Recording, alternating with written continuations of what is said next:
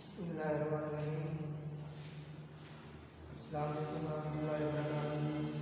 कैसे हैं स्टूडेंट्स उम्मीद है कि आप सब खैरियत से होंगे। हमने पिछले लेक्चर में सूर्य अनफाल को शुरू किया था। आज जो है उससे आगे कंटिन्यू करेंगे हमने जो है चार आयात पढ़ ली थी उदाय का उमिन हक्का लहम दरजात तरब व मगफ़रत मरिज़ करीम यहाँ तक हमने पढ़ लिया था आज जो है हम इससे आगे पढ़ेंगे सबसे पहले जो मुश्किल अल्फाज के मानी हैं वो देख लेते हैं सबसे पहले तो हम इसकी रीडिंग कर लें ताकि बरकत भी हासिल हो जाए और पढ़ने का तरीका भी आ जाए। देखें बसमीम कमा अखराज का रब्बू का मिनबई थी कबिल हक व इन फरीफ़ मिनमिन लकार युजादिलून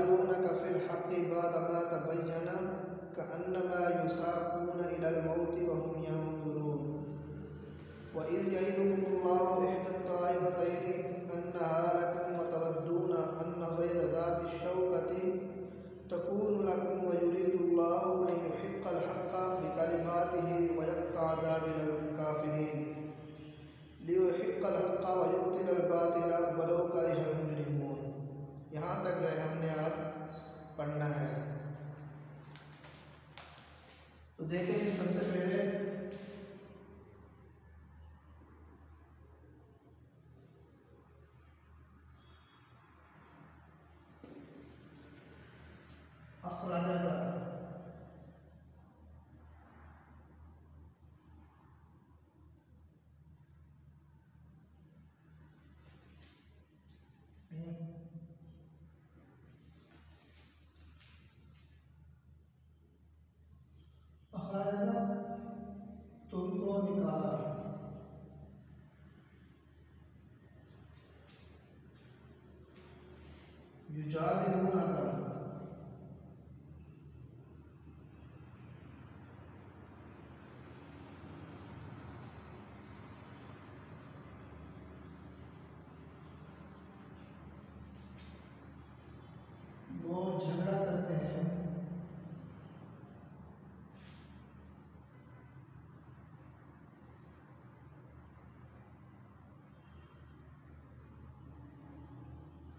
आपसे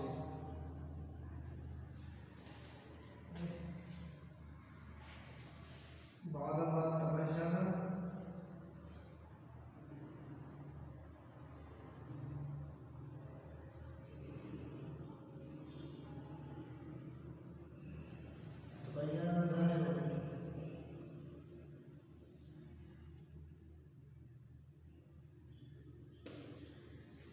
युसाबून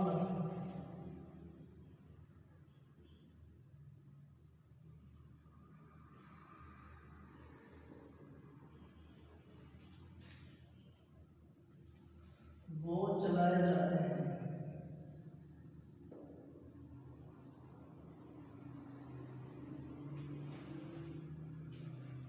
या धकेले जाते हैं जो भी आप करते हैं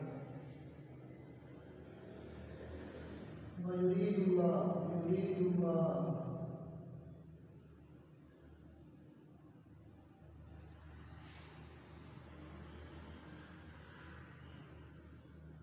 अल्लाह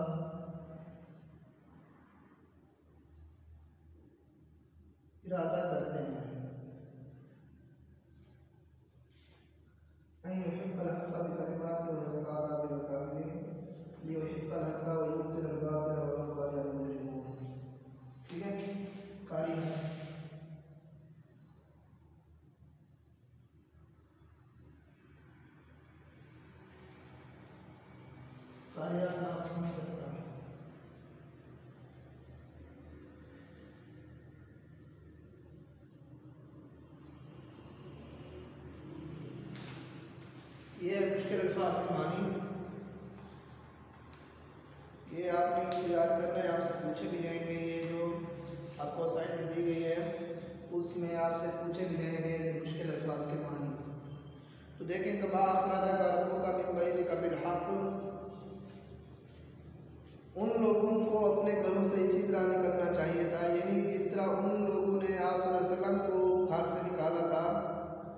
जिस तरह तुम्हारे परवरदिगार ने तुमको तदबीर के साथ अपने घर से निकाला वही फरीकमिन और इस वक्त मोमनों की एक जमात नाखुश थी। ठीक है? यानी जब आप सल्लल्लाहु अलैहि वसल्लम पर उन काफिलों ने जो है वो प्लान बनाया था कि आप सल्लल्लाहु अलैहि वसल्लम को अपने घर में कैद करके लोग बिला कत्ल कर देते हैं तो अल्लाह ताला ने जो है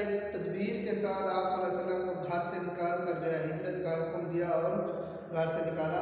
उसी का ज़िक्र है यहाँ पे। और मोमनों की जो एक जमात थी, वो उस वक्त नाखुश थी। क्यों? वो ये चाहते थे कि हम जो है लड़ाई करें। युजाद का फिर हक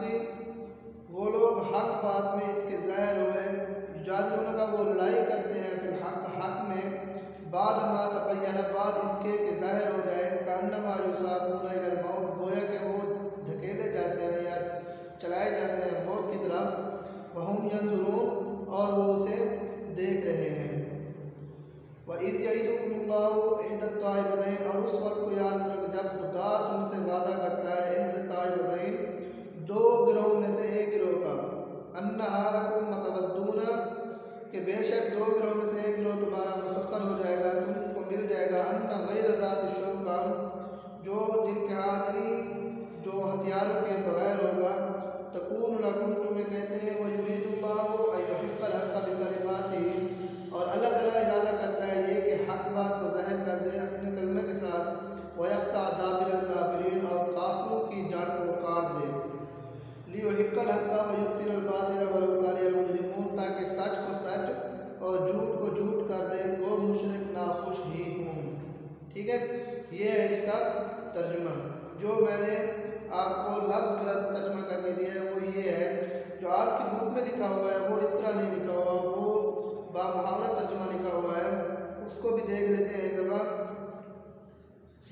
कमा खराजा का रब्बू का मिम्बई का बिलहक व इन फरीक़म मिनल इसका जो तर्जुमा है वो उन लोगों को अपने घरों से इसी तरह निकलना चाहिए था जिस तरह तुम्हारे परवरदिगार ने तुमको तदबीर के साथ अपने घर से निकाला और उस वक्त मोमों की एक जमात नाखुश थी युजादिलूनका फिल हक़्क़ि बाद मा तबय्यन कअन्नमा युसाक़ून इलल